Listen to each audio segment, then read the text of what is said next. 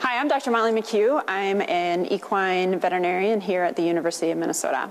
Hi, my name is Krishona Martinson, and I'm the Equine Extension Specialist at the University of Minnesota, housed in the Department of Animal Science. Hi, my name is Emily Glunk. I'm a PhD student in equine nutrition working with Dr. Krishona Martinson here at the University of Minnesota.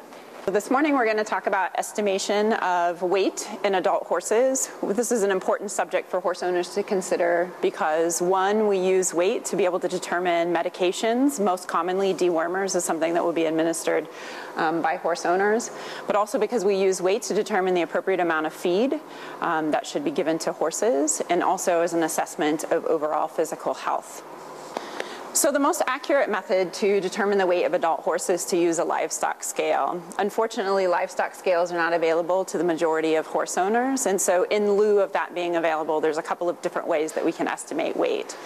One would be by the use of weight tapes, which are usually um, based on a girth circumference, a single measurement. A more accurate method in lieu of a scale would be to use a weight equation, which are based on traditionally two um, and sometimes three measurements. So typically when we use a weight tape, which are often supplied by feed companies, what we do is try to get the horse to stand as square as possible, um, and then put the weight tape around the horse's girth, typically as close as we can to the back of the elbow once the horse is standing square.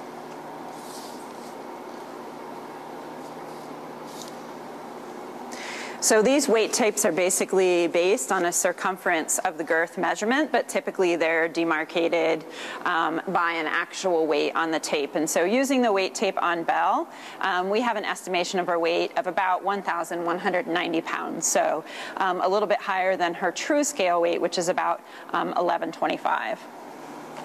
So weight estimation equations typically take a minimum of two measurements. And so we're going to demonstrate the measurements that are appropriate for the existing weight equation. So the first thing that we're going to do is determine the horse's body length. And this is typically measured from uh, two landmarks. The first one is the point of the shoulder, which can be found by kind of following the slope of the horse's shoulder. And at the point, you can actually palpate a bony protuberance here. So this will be um, the beginning of the body length measurement is here at the point of the shoulder. Then we'll measure to the point of the buttock, which is actually um, demarcated by the ischial tuberosity. So the measurement then is from the point of the shoulder all the way to the ischial tuberosity, which can typically be visualized by standing at the horse at the side and looking for the most caudal or the furthest point from the point of the shoulder.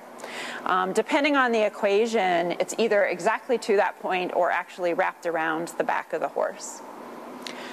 So when we make this measurement, we can see that Belle's body length would be recorded as 69 and one half inches. So now we'll repeat a very similar girth measurement to what we did with the weight tape. So we're going to go around her heart girth, um, again trying to have the tape right behind the point of her elbow. Um, on both sides. And so we can see that from this measurement, um, Belle is about 73 inches. Once we have the girth and length measurements, um, we can then put these measurements into a standard body weight estimation equation. And so Emily is going to make this calculation. The first number is the girth squared, or in Belle's instance, 73 times 73. And then this number times body length, which is 69 and a half. Then for an adult horse, we divide it by 330 and we should have an estimation of Belle's weight. About 1122. So in this instance, Belle's weight is estimated by this equation at 1122, which is very close to her scale weight. But one thing that we recognize about horses, especially when they start to uh, gain weight and become obese, is that they tend to gain weight in areas such as their neck. And while they do gain some weight that can be picked up by heart girth circumference measurements, um, there is weight gain and adiposity over their entire body. And so just using the measurements of length and girth circumference are often not as accurate for horses, particularly when they're obese.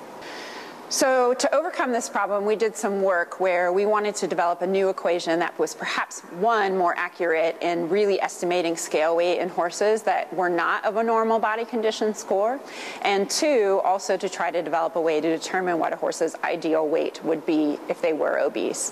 That way we can feed horses based on the weight that they should be and also potentially administer medications based on the weight that they should be. And perhaps more importantly, give horse owners a way to um, have some kind of estimate about their horse's body condition score, particularly if they're not trained in this method. We did some research where we took measurements of almost 700 horses, and in addition to body length and heart girth, we also got two more measurements. One is height, and the other um, is neck circumference. So now I'm going to have Krishona come and demonstrate how we did these measurements um, because they're slightly different from the measurements we've demonstrated before. So the first measurement is height.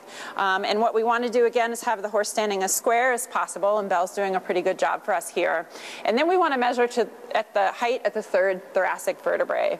So this is easy to find if you're a veterinarian or used to palpating thoracic vertebrae, but difficult if you're not familiar. And so a fairly good landmark is actually the end of the mane hairs. For most horses, their mane ends about at the third thoracic vertebrae. So you can use um, a height measurement stick like we have here or actually any measuring tape. Uh, the most important thing is to make sure that you um, have the tape all the way to the ground and that you're looking level uh, with their third thoracic vertebrae.